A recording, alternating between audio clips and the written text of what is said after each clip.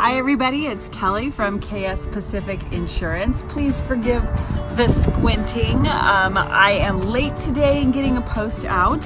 I've been very, very busy today and I wanted to give you a Monday tip and the day kind of got away from me. So I've gotten home from work and I am standing in my backyard in front of my orange tree. This beast and I can't see. I have very light sensitive eyes, so please pardon the squinting. anyway, so I wanted to talk to you today about insurance premiums.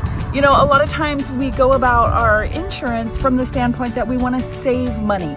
We have, um, you know, some big box companies. I'll just say a little green lizard guy who talks about, you know, how fast you can save a lot of money. And I just want to let you know that sometimes when it comes to protecting your assets and it comes to protecting your liability and it comes to protecting your livelihood, what is the best price is not always the best policy.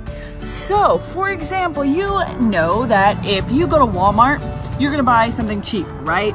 You're gonna buy a cheap product for a cheap price. Chances are the quality is going to be cheaper than if you were to say go to, I don't know, maybe Best Buy to buy a television instead. At Best Buy, you're gonna get all different kinds of brands and all different types of qualities. And you know that if you want something that's gonna be a good quality, that's gonna last longer, that you're gonna pay a little more.